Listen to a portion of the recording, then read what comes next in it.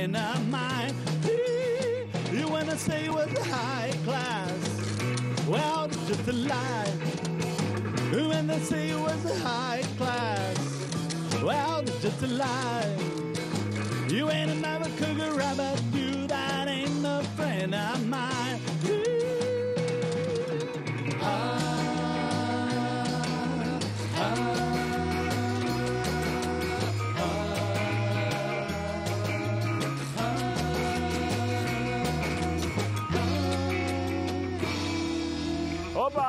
A gente está de volta com o nosso Muito Mais, hoje no Rock and Roll que a gente adora.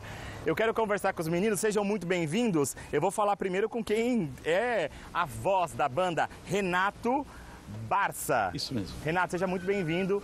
Meninos, sejam todos bem-vindos. Obrigado. Me fala o seguinte, como é que é a pronúncia certa dessa banda e por que, que ela tem esse nome? É o Wash Rock. Wash Rock. Wash Rock, por causa da washboard.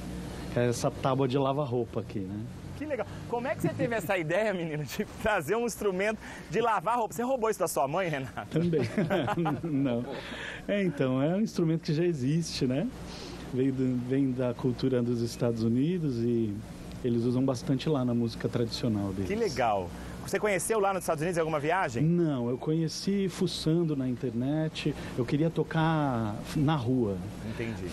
Fiz um projeto de tocar na rua e aí fui, fui buscar o que estavam fazendo e acabei encontrando. Legal. Obrigado por vocês estarem aqui. A banda, gente, wash, washboard é o que você usa como esse instrumento. E o wash rock é por, causa, é por causa do instrumento. Então eles já fazem um rock and roll bem bacana aí. Olha, tem o Nando Varone, que é o guitarrista, que está ali no cantinho. Tem o João Mádio, que sustenta a condução do contrabaixo. Obrigado por você estar aí. E lá na batera, o grande Giba. Eu gostei do Giba desde a hora que eu cheguei aqui. Eu vou falar que todos vocês são simpáticos, mas o Giba, baterista, tem sempre um tchan. É porque é quem conduz, né? Quem começa a fazer a banda. Fala pertinho do microfone, né? Com certeza. É, é o cara que conduz ali no 321, É né? coração. É isso aí. Obrigado por vocês estarem aqui. Tem Obrigado. show já? É, Hoje tem show? Quem quiser vir assistir vocês, como é que faz? Hoje tem na cervejaria Caiçara na Vila, Legal. na próxima sexta-feira no Beach Bar, sábado na cervejaria Caiçara de novo e Legal. por aí vai. Quem quiser acompanhar vocês nas redes sociais, fala pra gente no Instagram. Instagram arro, arroba Wash Rock Band. Legal. Lá tem a agenda completa dos meninos. Eles vão ficar aqui com a gente o programa todo, porque quem falou que rock não combina com a praia, né, gente? Aliás, combina com Ilha Bela, porque o rock também combina com a ilha, né, gente? Com certeza. Eu adoro curtir o rock lá na vila. Obrigado por vocês estarem aqui. Valeu, obrigado. Falando em Ilha Bela, agora, gente, a gente vai bater um papo com a prefeita Gracinha Ferreira, que mais uma vez recebe a gente aqui no programa. Aliás, amanhã é Dia Internacional da Mulher. Vou te dar um beijinho. Ah, obrigada. Seja bem-vinda, Gracinha. Obrigada, Bel. Obrigado por você estar aqui mais uma vez com a gente. A primeira vez que a gente bateu um papo com a Gracinha foi em março e ela era ainda vice-prefeita e aí assumiu já quase dois anos já como prefeita, né, Gracinha? Não, dez meses. Dez meses? Ah, menina, eu já tô achando que você já tá mandando a cidade faz é, muito tempo. É Dez muito bom meses. você estar aqui com a gente. Gracinha, eu quero te fazer. A minha primeira pergunta é a seguinte: a gente teve um, um 2020 aí, um verão muito chuvoso, a cidade enfrentou muitas chuvas, mas como é que você avalia o momento atual da cidade? Olha, Bel, é assim, choveu muito, assim, graças a Deus não houve nada grave, na- nenhuma deslize, nada. É, infelizmente as cidades vizinhas sofreram mais do que Ilhabela. a Ilha Bela. Mas a gente teve uma temporada, eu digo, meio que curta, né? Porque não aproveitamos muito por conta da chuva, mas Ilha Bela lotou. Tive- Tivemos aí 82%, 84% de ocupação hoteleira, né? O que é muito bom, né? Muito bom. E agora a gente trouxe o sol, Gracinha. A Graças a Deus, a. Band trouxe o sol. A gente trouxe o sol. Eu fiquei sabendo que Ilhabela recebeu um certificado, que é um troféu do programa Município Verde Azul.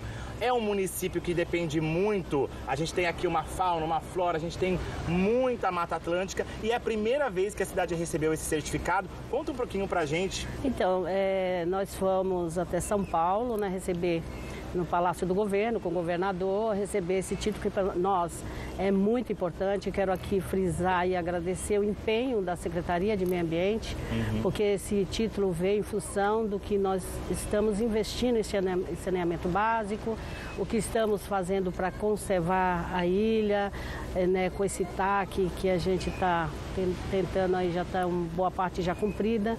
E, enfim, e foi um prêmio inédito, assim, né, que a Bela nunca tinha recebido e nós precisamos melhorar muito ainda.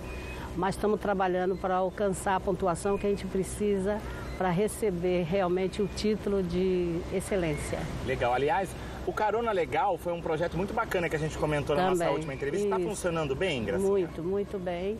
E tem nos ajudado muito a limpar o nosso aterro, né? esvaziar o nosso aterro. É um programa de extrema importância para Ilha Bela, que foi a, a solução que a gente precisava de imediato.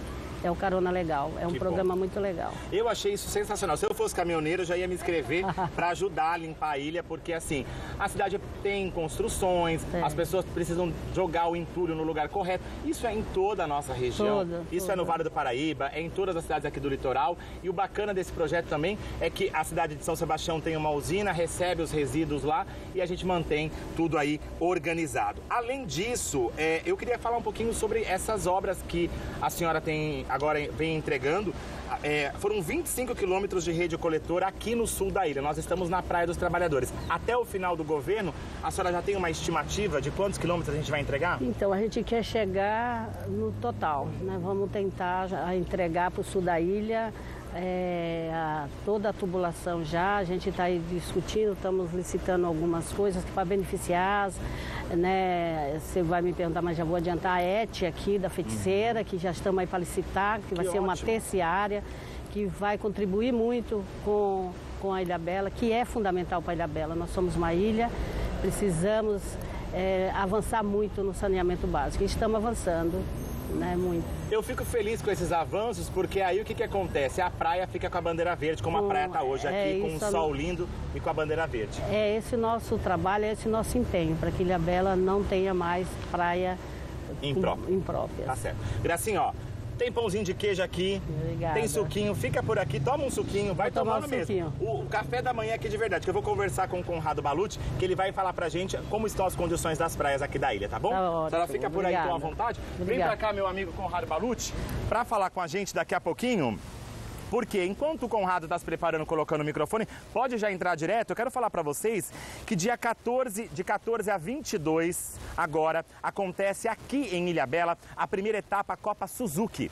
É, gente, que é um circuito de vela oceânica. Já é um esquenta aí para a Semana de Vela, a tradicional Semana de Vela, que acontece em julho. E aí, o que, que acontece? Também aqui na ilha vai acontecer de 27 até dia 31 a exposição Pop Art.